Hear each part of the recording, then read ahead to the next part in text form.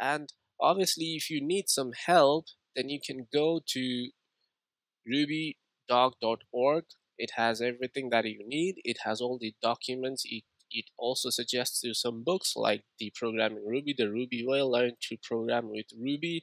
It even gives you some articles or links which are very important.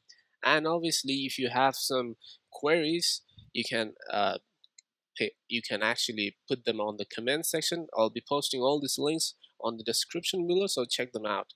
And if you're interested about one of the other thing or the modular approach that Ruby takes you can check out rubygems.org you can get all those gems in here. They're very easy to install.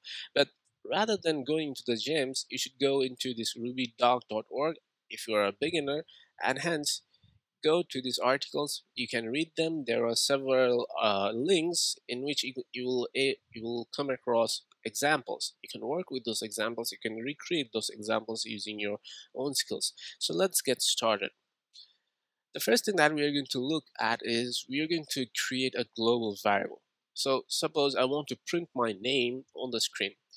I created this file which is the functions.rb or the Ruby file now, if you're using a Mac like me, or if you're using a Linux system, or suppose you're using an Ubuntu system, then you will get the Ruby version uh, very easily. You just need to open up the terminal. If you're using the Aptana just like me, the Aptana studio will give you the terminal built inside it.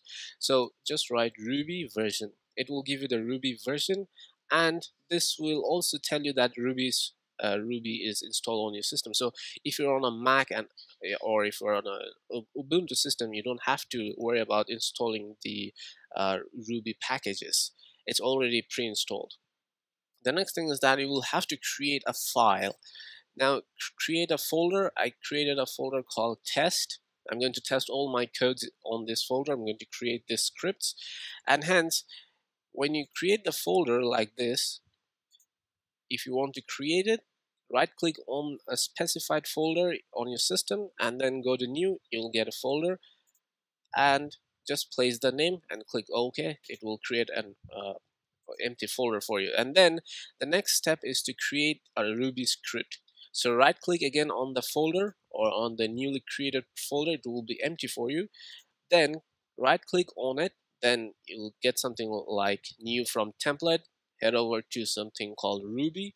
And this will give you and uh, this will prompt you to a window and just name the file as you like it. I have named it as functions.rb then click finish and it will give you a new file. So remember to actually navigate to your own folder where you have you are going to place all the scripts. I have placed my folder inside test. So if you have placed your folder in a different uh, in a different location you need to go to uh, you need to use the command you need to use the terminal to navigate over to your folder. How do you do that? Suppose you're sitting inside the root. Let me show you